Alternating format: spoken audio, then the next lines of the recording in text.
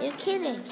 I am Violet, and I want to go where every book and movie comes alive. Magic Palace.